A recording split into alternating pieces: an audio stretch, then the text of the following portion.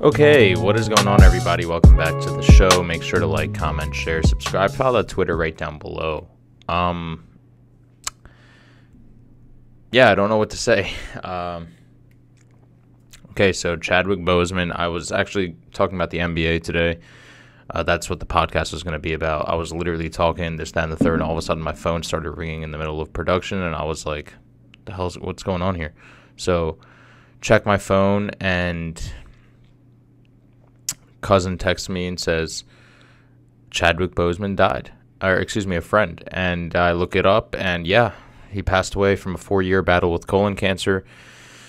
If you've been living under a rock, Chadwick Boseman started out his career blew up I think in like 2013, 2014 after doing the Jackie Robinson um, movie uh, with Harrison Ford and you know that put him on the map to later be the Black Panther, which is what he's known as today and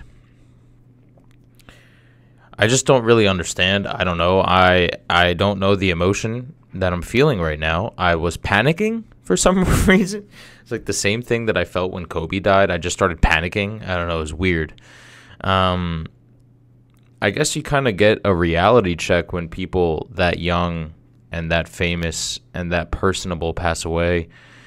You kind of get this reality check of like, you know, I don't really have that much time. You kind of understand how short life is and puts it in perspective. It just, I don't know, it's so crazy to me when I hear these kinds of stories because you know, I'm 23 and both him and Kobe they passed away eh, at 40 pretty much. So it's like you know, that that is the shortest life. That is such a short life. And I am devastated, I'm sad, I'm all the above. I, I can't believe this just happened. I couldn't I didn't even know he had colon cancer. Um when my friend texted me that I was like Chadwick Boseman, wait a minute. That I that, that's I know that name. That's Black Panther. That's the guy who played Jackie Robinson. There's no way.